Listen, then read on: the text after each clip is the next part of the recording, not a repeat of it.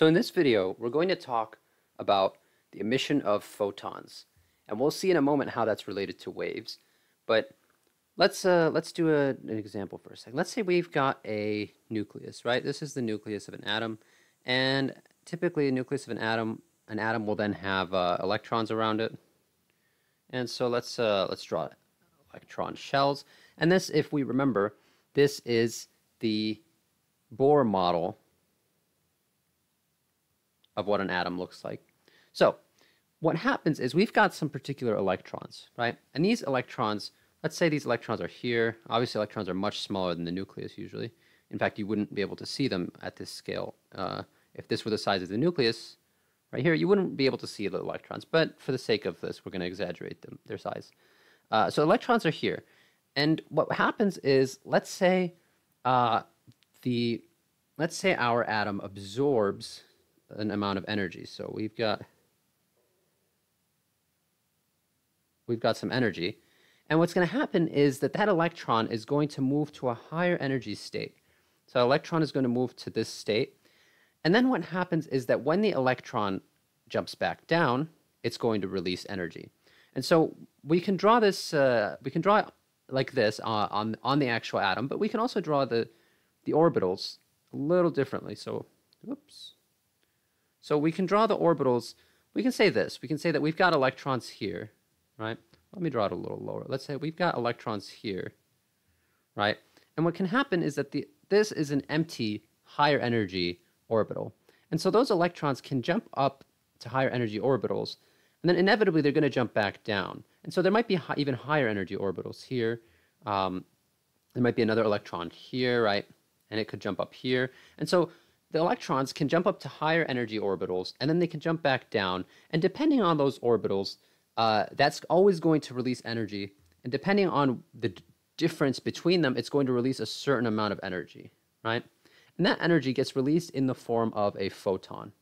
So photons, what exactly is a photon? A photon is essentially, it's essentially a particle of light that also behaves as a wave. And so for the purposes of the MCAT, let's just consider that photons are essentially waves. And so when they're released, they're released as waves. And so what are the properties of these photons? Well, what is a photon exactly? A photon is essentially a wave of energy. Uh, and so the amount of energy in the photon can be written in terms of this equation. Energy, let me make the, let me make a more clear marker. So let's make it a little thicker. Energy equals h times F.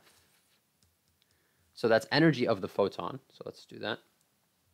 Energy of photon equals h, and h is Planck's constant. And typically the MCAT will give you Planck's constant. Uh, the MCAT will give you Planck's constant, but for the sake of uh, this MCAT, the typically the Planck's constant is 6.6 times 10 to the minus 34. But again, on the MCAT, you'll usually be given that. And then that's times frequency. Frequency is usually written in hertz, right? Energy of the photons written in joules. Frequency is written in hertz. And Planck's constant. And Planck's constant, the units for Planck's constant are typically given in joules per hertz, which is, you know, makes sense compared to considering that this unit is joules and this unit is hertz. Sometimes we'll, we'll be asked to convert between, uh, sometimes we'll be given energy in a different unit and we'll be asked to convert. And so that conversion you would just want to do, um, you just want to do that conversion as fairly typically using uh, dimensional analysis or using typical conversion factors. But uh, yeah, so we've got joules, we've got joules per hertz, and we've got hertz. And so this is how you determine the energy of a particular photon.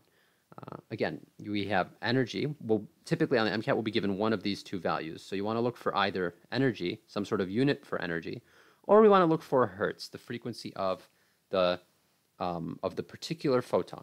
And so we can see one of the one of the points I want to make conceptually here is that the frequency of uh, so we see. Let me rewrite that here. Energy equals hf we see that as frequency of the wave increases, so does the energy of that wave or the photon. And so we can understand that as if we've got two waves, one looking like this, right, and one looking like this, which one has the higher amount of energy?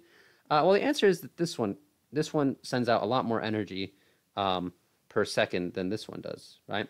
And so this ener- this wave in general is going to be higher energy. So in general, a higher frequency equals a uh, uh, a higher amount of energy. The last point to make here is that sometimes on the MCAT, we won't be given frequency, but we'll be given wavelength, right? And so instead of giving us frequency, um, they'll give us they'll give us one of two values, some some value that can help us calculate frequency. So perhaps, for example, they want us to calculate energy, but they're not going to give us frequency. So what values would they give us? Well, there are a couple ways we can determine frequency if we're uh, from other values, and one of those, as we saw in the previous video, is that the speed of a wave is equal to uh, frequency times wavelength, right?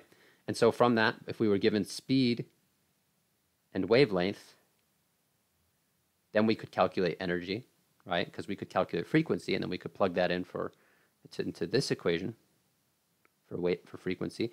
Another way we could do this, one more variable that we didn't mention in the last video, in the video on uh, on waves, but we should have mentioned, um, and we'll mention it now, is the concept of period. So period is equal to 1 over frequency, right? So as we said, frequency is uh, hertz, or frequency is also the number of the number of waves that pass a particular. So as we know, waves are always moving in a certain direction, and so frequency is the number of waves that will pass any one point per second, and so it's uh, essentially per second. The units are per second, and uh, period is one over that. It's the inverse of that, and so what that means in practice is it's the number of seconds required uh, so we can say, let's say waves per second. Uh, and uh, period is seconds per wave. That is to say, the number of seconds it requires for, for a wave to pass uh, a particular point, right? And so, uh, anyway, so the point being that if we're given period, period is always given in time. So the unit of period is seconds usually. Um, important thing is it's time, right? Uh, and if we're given period, we can figure out frequency. It's just one over that. And so um, these are a couple of conversions that we might have. If we're not given frequency directly, but we're given period, then we can figure out frequency, 1 over frequency. Uh, we can figure out frequency 1 over period. Um, and if we're given, we're not given frequency, but we're given the speed of the wave and its wavelength, then we can figure out frequency using the equation over here. And that's all we need to know as far as energy uh, of a particular photon uh, when given its wavelength.